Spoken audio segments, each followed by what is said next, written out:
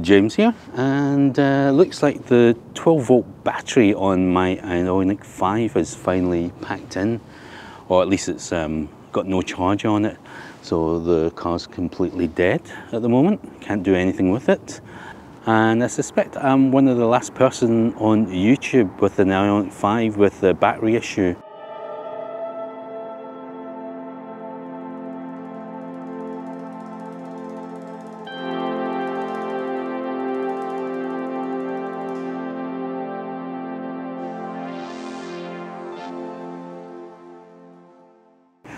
I just thought that I was immune to it for whatever reason.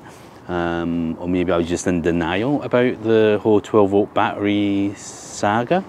But it's finally happened here. I'm just going to find out what's up with it and then jump start the car, hopefully. And we'll just run through all the different scenarios of what it could have been Obviously, I do not know why it's happened, and I've got a few speculations. Get the car started first, and then we'll just uh, talk through why or how or the possibilities of why this has happened.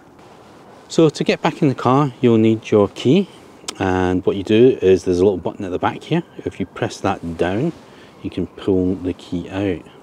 Right, so to get into the car, what we need to do is open here and then this part of the key goes in here. It's a little bit fiddly because it's, uh, not actually that much space to work with.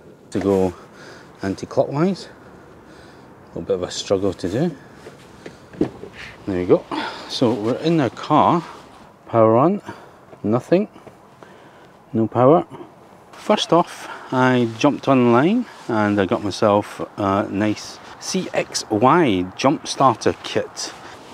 So this is the case it comes in. It's quite a big case.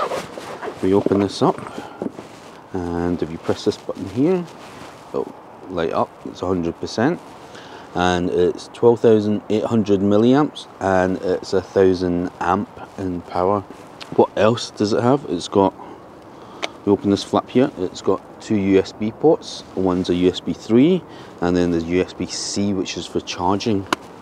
Uh, there's a lamp here as well that you can switch it on. And if we come in here,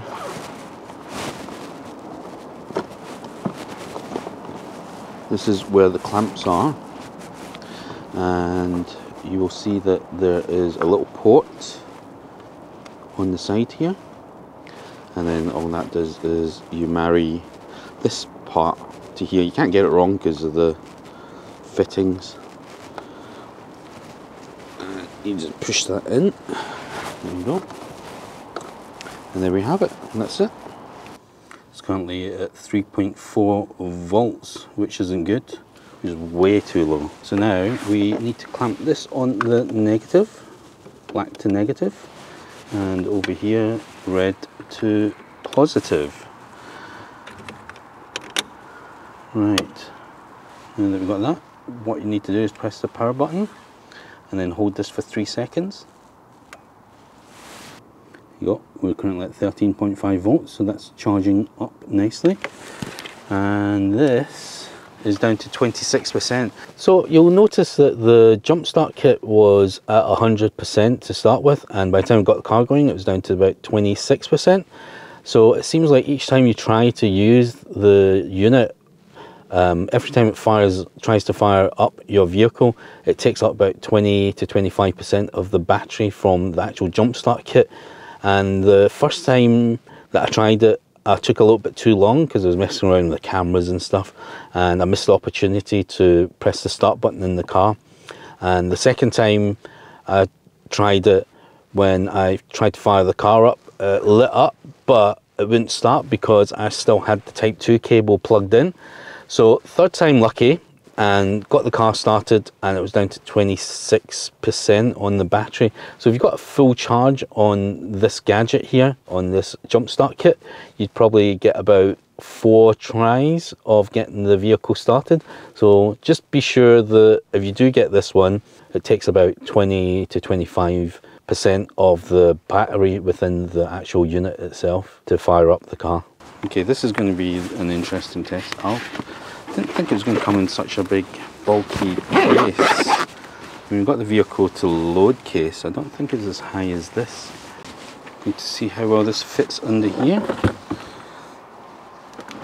So we lift that up. Slide in. Oh, actually. So I've slid it in there.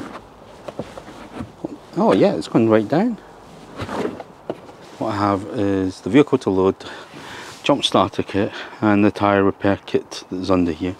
So there's plenty of space to fit that, which is handy. I'll need to recharge it back up. If I have the jump starter kit in the boot and there's no power to the car, it's going to be a bit of a hassle getting into the boot of the vehicle because it's a powered tailgate and there's no quick release like the bonnet. So I was wondering if I could fit this in the front here. And let's check in here. So if it was there, I think if that's in the centre because of these nuts. There we go, and it fits. Actually, that's not bad. I might put it in the front. You know what, this granny cable I'll probably never use, so this is probably better off being in the boot. Instead of putting it in the boot, even though it fits, I think it might be better here.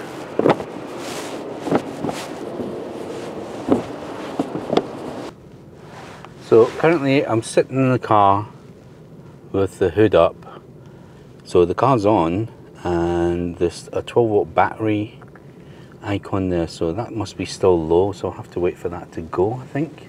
So the story leading up to the 12 volt battery dying on us was we went down in the new year to visit family and that was down in Manchester so that was about 500 odd miles away round trip and I can't see that being the problem with the car being on and driving. Did a lot of ultra fast charging as well. The only other thing is on the stock here, on here, on the light stock, I've actually, for some reason, because it's quite dark and the lights weren't coming on, I actually switched it on manual rather than auto. So I normally have it on auto mode, the lights. But for some reason, I decided to put it on full. So this might be one of the reasons. I don't see why it wouldn't actually turn the lights off anyway once we get out of the vehicle. So the other thing I thought maybe it was this that was left on, but you know, I mean, it's quite bright when you have it on. So I don't think it was that because, I mean, I did use it, but I'm sure I pressed this button to turn it off. So it's not been on all this time. Uh, or else I'm sure I would have noticed it driving around because after we got out of the car. So that's the only thing that I've done or done differently on this drive. So for one year and three months, I've had zero issues with a 12 volt battery, even though everyone else on YouTube seems to have an issue with Hyundai's 12 volt battery. Yes, yeah, so it's finally happened here. I don't really know why that is. I've never used the app to open the charge flaps or use the app for anything else apart from pre-warming the vehicle. It has to be some other sort of anomaly. Right, so we can come back tomorrow and uh, just basically see what happens with the vehicle. So it's day two now of the Ioniq 5 battery. The car's been charging up overnight, so I double checked to make sure it's actually all working. And it's up to about 54% on the traction battery. And the 12 volt seems to be fine. I just checked it there. And it's at 12.5 volts when off and 14 and a half when switched on. So it's definitely working correctly now. So I was making up excuses yesterday on why it was happening and why, why the battery went flat. We went through all the different scenarios of driving the vehicle for long distance, so it wouldn't have been that, and the light being on manual rather than auto. So it's definitely not that either because the lights did all turn off and the interior lights were all switched off so there's no reason for the 12 volt battery to die apart from it being not a very good 12 volt battery um, supplied by Hyundai. And yes, I did say Hyundai because we got told off by Hyundai that it's not Hyundai, it's Hyundai. We'll need to start pronouncing that properly because um, there was an actual ad campaign about that. But I digress. So I've had the car for a year and three months and The reason why I think I didn't have any issues for a while was when I picked up the car, I had to drive 170 miles home with it. And I think that gave it enough time to charge up the 12 volt battery. So if you're after a rugged wireless jump starter kit, then the one that I've got, the CXY, um, I'll put it on the description below so you guys can click on that and grab yourself one. And if you do use the link, I will get a little kickback, which helps the channel grow a little bit more. But for now, thanks for watching and I'll see you guys next time.